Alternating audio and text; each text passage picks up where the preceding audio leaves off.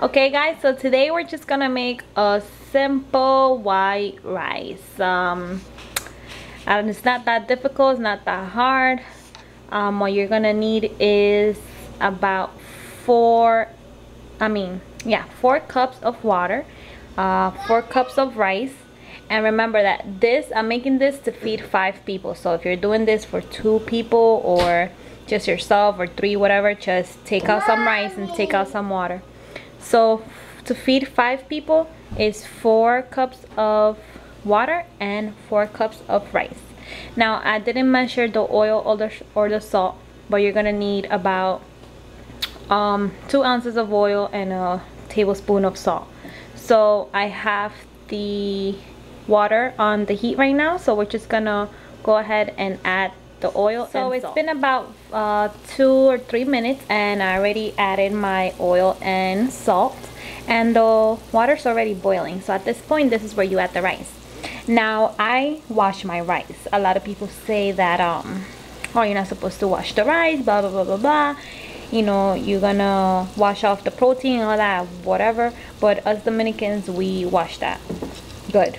So I already washed the rice I'm gonna pour it into the boiling water I can't film this because I am grabbing the camera so I'm gonna add the rice and we'll come so back. So I just put the rice in there and I'm gonna go ahead and stir it. Now if you see that the um you have too much water you could just simply remove it because this right now how it looks it has too much water um, you have to be able to at least see the rice without the water being completely submerged. So I mean the rice being completely submerged like underwater. I can't see the rice right now. So I that's why I know that it has too much water. So I'm gonna take out some water. And I put my pot right here. Hope I don't get burnt. I mean you don't really need to see this but whatever so removing some water?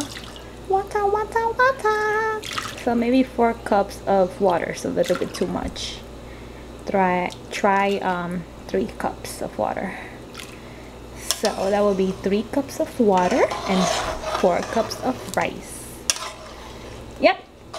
That is good right there. So once you see the rice um now you could see the rice on top right there.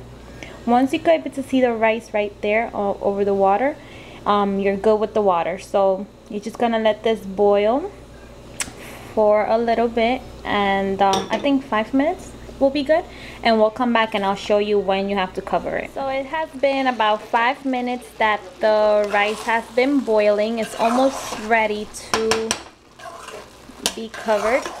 Now oh I see a little black spot right here.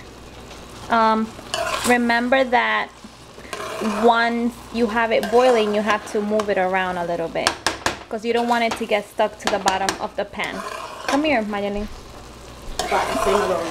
Stay hold this right here. Hold it right there. Okay so now that my sister is holding the camera focus on the thing. I'm gonna take my because it is ready. So this is all in medium heat people. Medium high. Medium high. So this is ready to close. So I'm gonna go ahead and scrape around the pot and just make sure that the bottom is not um, sticking. So I'm gonna lower this to low heat. And once the rice is like that like dry with no water that's when you close it. So you put it at low heat and you put the top on and then you let it sit there for about half an hour or so. Um, actually, 15 minutes. You 15 minutes, it. yeah. 15 minutes and then you have to turn it and let it cook on the other side. But I'll show you. We'll come back in 15 minutes. Okay, it's been about 15 minutes. Sorry. yep. Okay. 15 minutes. Um, this is the way my dad. Shh, Soleil. This is the way my dad taught me how to um, turn the rice. So what you're gonna do is you're gonna take a little part.